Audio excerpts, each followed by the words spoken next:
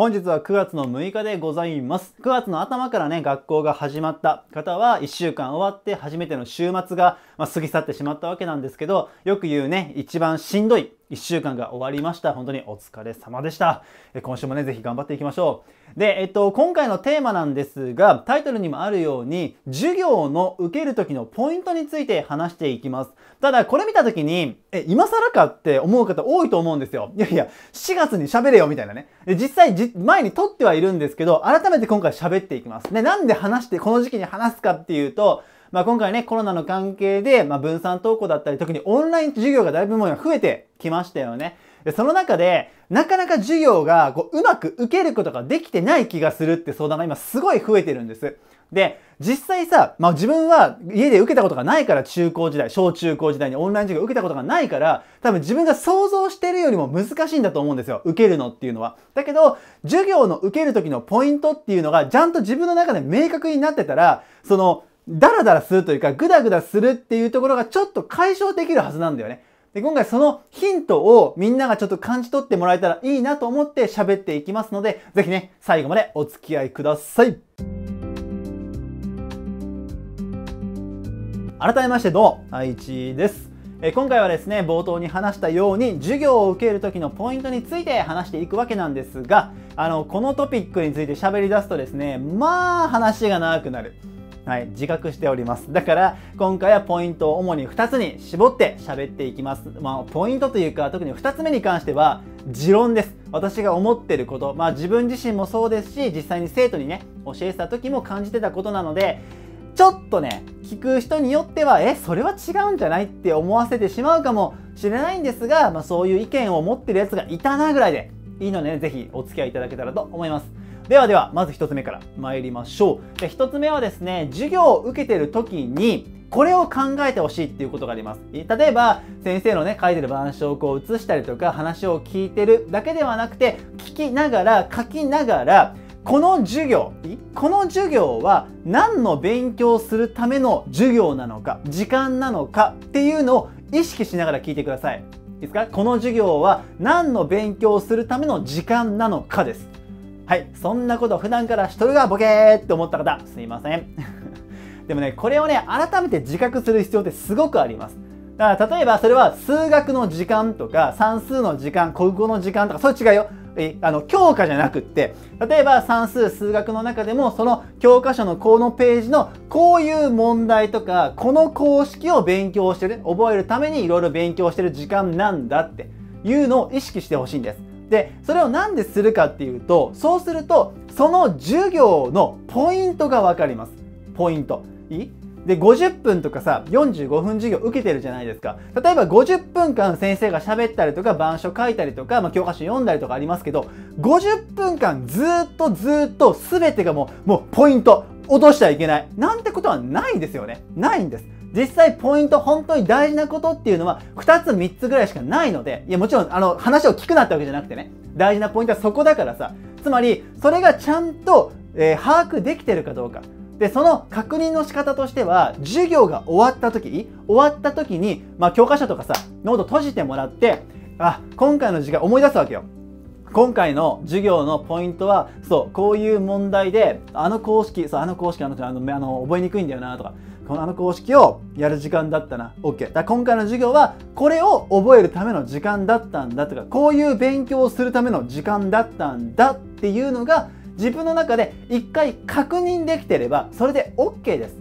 いいこれをぜひ、えーと、もう一回ね視点としてもともとね意識してた方も多いと思うんですが持っておいてほしいんです。でこれはあの今回最近ね親御さんもぜひよく見ていただいているので特に小学生の親御さんに関してはあそれぐらいそれでいいんだっていうのを思ってほしい。はい、でこれはもう1個のポイントにもつながるんですけどさっき言ったように50分間45分間授業を受けている時に全部が全部ポイントじゃないんですよね。でもちろん親心としてはずっとちゃんと集中して受けなさいって思います。自分も息子が2人いるので分かります。分かるんですけど自分に置き換えてほしいんです。50分間ですよ。50分間、例えば会社勤めされている方も、上司の話を聞き続ける、それのメモを取り続けるときに、集中できるかって言ったらなかなか難しいと思うんですよね。しかもそれが6時間とかあるんですよ。50分かける6時間授業とか下手すると。いや、無理ですって。はい、っていうのが自分の持論なんですでこれは生徒さんに子供たちのみんなにもぜひ覚えててほしい。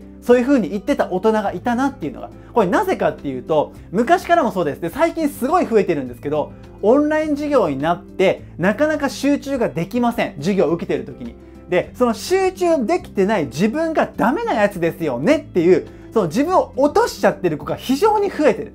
でもちろん例えば受け方とかで工夫をすればもっと集中できるようになるかもしれない。かもしれないけどそのダメなやつだって思うのは違うと思うんだよ。まず大前提として50分間集中し続けるなんてことは難しいよって。大人でも配置も無理だって。あ大人でも無理なんだなって。じゃあいいかっていう視点が1個入ってほしい。ちょっと自分に優しくなってごらんその部分に関しては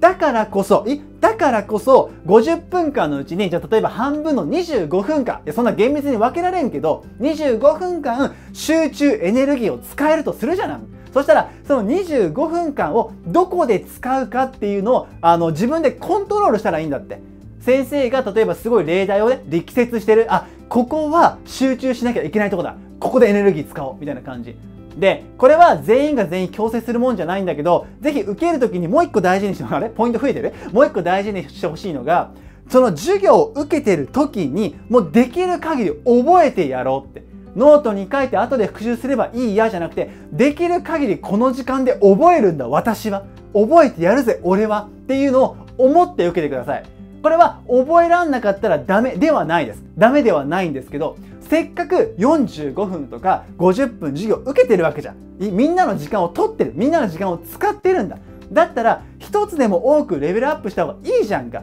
ああ、めんどくせえな、集中できてない、だりーなって思って50分過ごしちゃう。いいもちろんそれをノートを書いて後で復習すればいい話かもしれない。でも、その50分の時間の中で、ちょっとでもさ、覚えることができたりとか、ポイントをつかむことができていたらさ、後々やる量は減るわけよ。未来の自分が楽をできるようになる。だから、ぜひ授業を受けるときには、そのポイント、この授業は何がポイントなのかなっていうことを大事にしながら、あとは50分全部集中できなくたっていいんだ。だからこそ、自分の集中エネルギーを使うところをきっちり使い分けて受ければいいんだっていうのを意識しながら、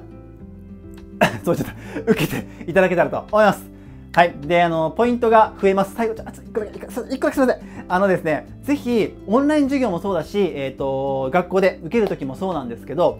夕方、そのオンライン授業が終わった後とかでも、まあ、家帰ってきてからもそうなんですけど、まあ、夕方以降に家で自学というか自宅で勉強するじゃないですか。でその時に授業を受けてる時ねオンライン授業でも学校で授業を受けてる時でも授業を受けてる時にその日の夜に復習する問題を付箋でもいいし自分のお気に入りマーカーでもいいから、まあ、マークを自分で決めてもいいんでつけておいてください。メモっておいてください。いい？家帰って、そのね、勉強するか、何しよっかなって探すんじゃないんです。受けてる時に、あ、これ絶対後で復習した方がいい。先生力説してたし、これテスト出すつもりかもしんないから、これはやっておこうとかでもいいし、受けながら、ちょっとこれなんか苦手そうだな、家帰ってからやった方がいいなって、その瞬間、思った、受けた瞬間が一番わかる。で、新鮮な気持ちが一番ある状態だから、そこでメモってください。そしたら、家帰っていざ勉強するときに、何やろっかなっていう一番大変な作業がなくなります。だってその付箋のところやればいいんだもん。よし、まあ、数学の付箋、ああ、ここ3つ、そう、印つけたな。じゃあここやっていくか。それでいいんですもん。だから受けながら夜、まあ、夕方以降にこれを復習するんだっていうのをメモをつけながらぜひ授業授業を 受けていただけたらと思いますので、まあ、ぜひね、まあ、今回伝えたかったのはその授業をうまく活かそうっていうところのポイントはね全部伝えたんですけどもうちょっと肩の力抜いていいよって完璧に授業を受けようなんて思わなくていいよっていうのも伝えたかったので、その部分が少しでもね、伝わっていれば嬉しく思います。ということで、ポイントが増えたのはごめんなさい。いっぱい喋っちゃいましたけど、ここまでお付き合いいただきありがとうございました。ぜひね、この1週間もお互いいい1週間にしていきましょう。では、また来週月曜日にお会いできたらと思います。それじゃあ、またねバイバイ頑張ろうね